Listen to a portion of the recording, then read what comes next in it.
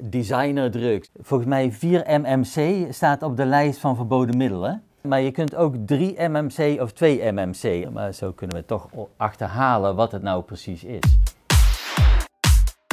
Ja, nou welkom bij HVML Felix. HVML Felix zijn eigenlijk twee laboratoria. HVML, Hoogveld Magneetlab, hele sterke magneten.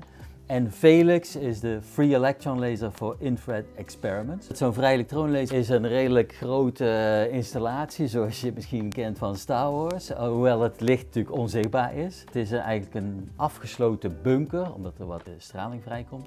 Het is een elektronenversneller, eigenlijk een kleine versie van de deeltjesversnellers die bij CERN staan, die je misschien kent. Kijk, scheikunde gaat natuurlijk altijd over moleculen en de precieze structuur van een molecuul bepaalt alle eigenschappen. Het ultieme is het bepalen van de precieze molecuulstructuur. Een analytische methode binnen de scheikunde is massaspectrometrie. Dus dan meet je eigenlijk het gewicht van alle moleculen en dan krijg je ook een soort spectrum, maar nu een massaspectrum met pieken die corresponderen met alle massa's van de moleculen die erin zitten.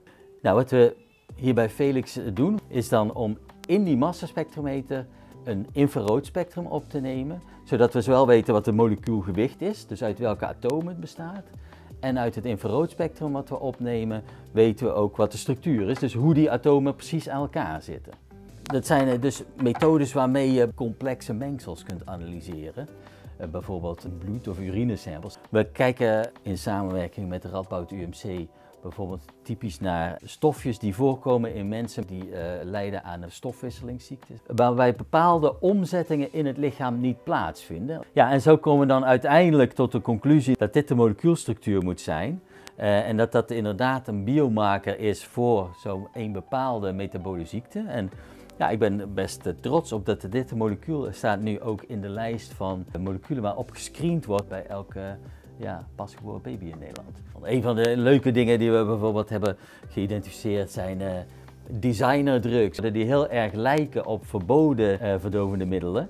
Hè, maar ze zijn in structuur niet precies hetzelfde. Dat heeft dus een of andere handige synthetisch chemicus heeft dat aangepast. En daardoor kunnen ze toch verkocht worden als, uh, als partydrug.